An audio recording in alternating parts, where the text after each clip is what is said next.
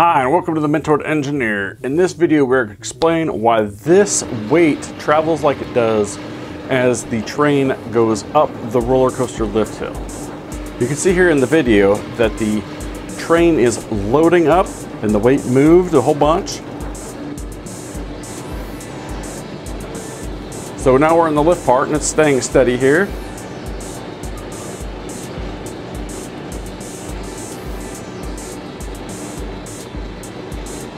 And then it's, it's getting to the top, it starts unloading.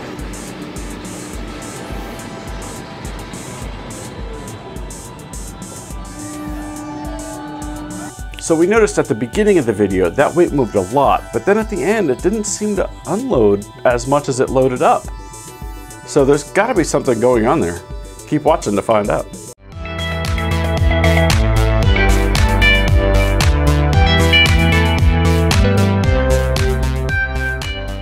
Hey, if you like what you see so far, please be sure to smash that like button and subscribe and click that notification bell so I can annoy you at least once a week. All right, so to understand why this moves, we need to understand a lot about chain lifts on roller coasters and what they're doing. So the first part we need to talk about is the path of the chain. Uh, the chain here is drawn in red and it starts here with a drive gear. This is what attaches to the motor. That's what actually powers the train going up the hill. Goes around the tensioner uh, sprocket here and that can slide in and out. And the weight is attached to that and it drops accordingly to the chain stretching. Then it goes over an idler here and then goes up the lift hill, goes over the top over an idler pulley, and then comes back down to the drive. Fairly simple. No, it's not, actually. So with uh, roller coaster chain lifts, uh, one thing that can happen is the chain can break, and it, it's very rare if it ever happens. Uh, usually they do preventative maintenance and stuff on the chains. Uh, they keep them well greased, uh, so that this doesn't happen. Um, but heaven forbid this ever happens, and the chain breaks, you're not falling down the roller coaster. They all have what is called anti-rollback devices. And what happens is um, there's another mechanism uh, by, by law that will catch the car from falling back to the station. The other issue with uh, chain drive breaking is that it can actually come and back and hit the uh, riders. It can, you know, swing up anytime there's so much energy built up in a in a cable, in a chain, even fiberglass rods that are under tension. Uh, they go and they go everywhere. Uh, so the chain, if it's split up here, can actually bust back and hit people in the face. That's not good thing. Uh, it can also cause uh, major damage to the structures, uh, which is uh, also detrimental to the ride's integrity. So they actually have a different type of chain on a lift hill. Let me show you how that works. A traditional chain is like what you see here in the video what's holding up the tensioner. It's just simple um, outer and inner links. So here you have uh, a cross section of your chain. You've got outer links, then you've got inner links, and then you've got this uh, uh, tube here. And that is actually what the, um, the train catches on. It, they call it a chain dog. And it actually loops in and uh, connects to the chain in there. Uh, it's spring loaded, so it'll pop down and pop up. So that's what you hear when you click, click, click, click, get on the lift hill, and then it'll, you know, grab it and pull it uh, up the rest of the way. Uh, the lift hill chain actually has these, uh, I've drawn them in red, but they're, they're cams on there. They're little rollers, little bearings that will actually roll up next to the uh, lift hill. And they actually fit in C-channels that go on each side of this so you can imagine it's a, you know, a, a track uh, right here next to the train up in the center. And you can actually see these if you're in the front car of a roller coaster. As you're going up and you hear the click, click, click, you can look down and see the chain that's moving at the same speed you are. And you see that the ends are always covered. It's never just a chain out, you know, or a chain guide to keep it straight side to side. It's always got uh, a C channel so you can't see in on each side. And that's what you're seeing uh, when you look down right there.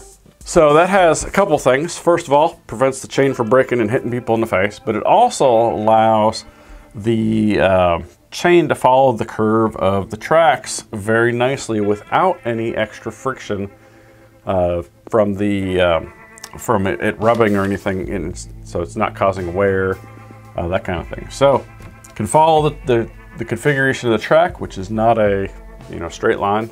All right, so now that we understand how the chain works, let's look at how the chain is tensioned.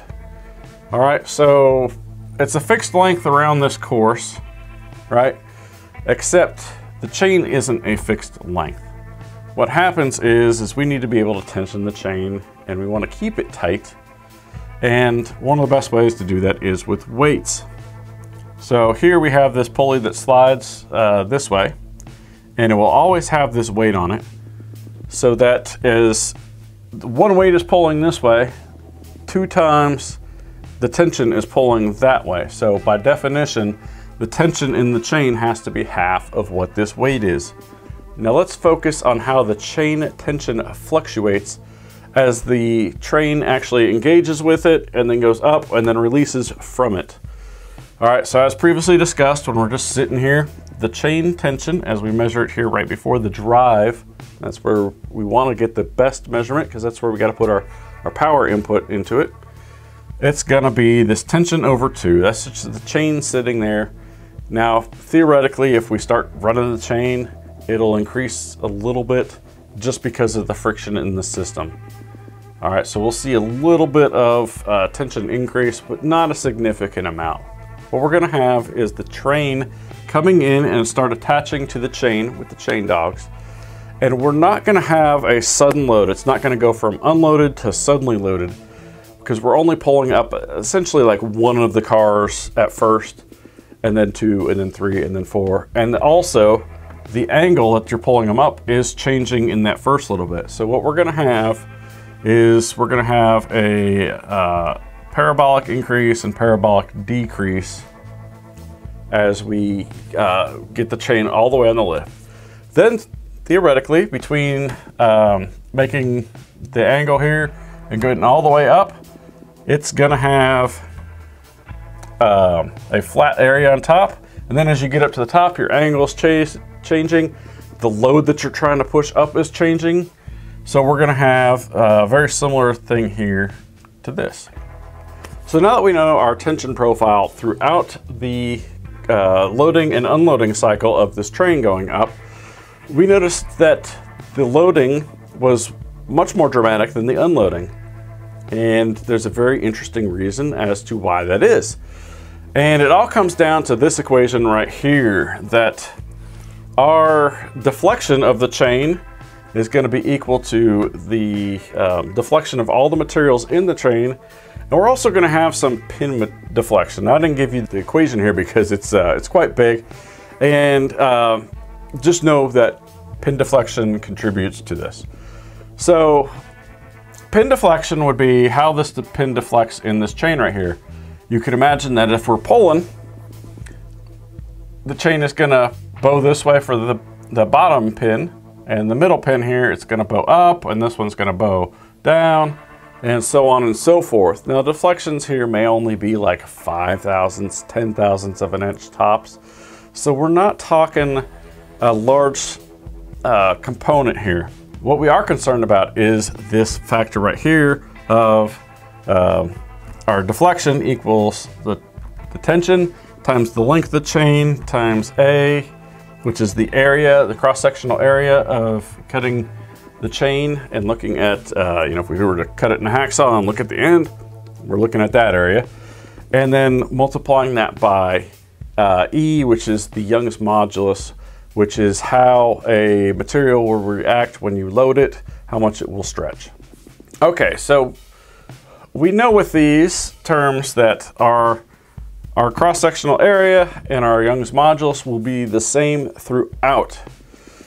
Our tension is gonna change as we just drew up over here. This is our tension plot over time. But from the points that we're concerned about, you know, when it reaches B, it's just on the constant uh, section of the lift, which is by far the greatest area.